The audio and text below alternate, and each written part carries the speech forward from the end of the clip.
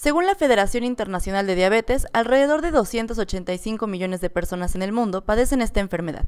Los factores son diversos, como obesidad, por herencia, la forma de alimentación, y las complicaciones pueden ser muy serias. Infartos, ceguera, insuficiencia renal crónica, afección principalmente de los riñones, pacientes que requieren un tratamiento sustitutivo de la función renal, estamos hablando de diálisis peritoneal y hemodiálisis, amputaciones.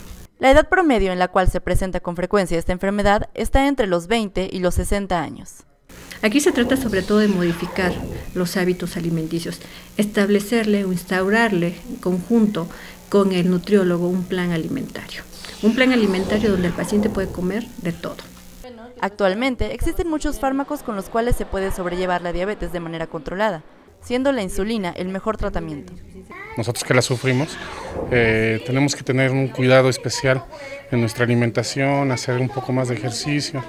Desgraciadamente no nos cuidamos y Mira, eh, aún sin tenerla, algunos chocolates que son los que me gustan, sí los he consumido, pero este, realmente eh, debe uno tener mucha disciplina, mucha conciencia de, lo de la enfermedad que uno tiene, como la diabetes.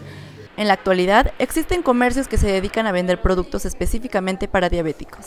Y aparte, pues alimentos que son sin azúcar, son especialmente hechos sin azúcar y obviamente bajos en calorías que puede consumir el diabético con confianza sin abusar en, la, en cantidad, por supuesto.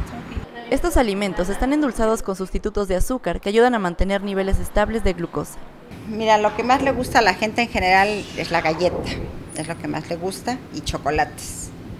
Y bueno, obviamente, pues lo, como te decía, los, los medidores y los reactivos para los medidores. Este tipo de alimentos inclusive vienen sin colesterol para aquellas personas que también padecen de triglicéridos altos o hipertensión pues sí deberíamos de fomentar esa cultura, no nada más para los que ya tienen la diabetes, sino tratar de, que los que no la tenemos, eh, pues evitar todo lo, lo, más que se pueda productos este, de muchas calorías. La diabetes es un mal congénito que puede ser controlado y que mejor si se hace dándole gusto al paladar.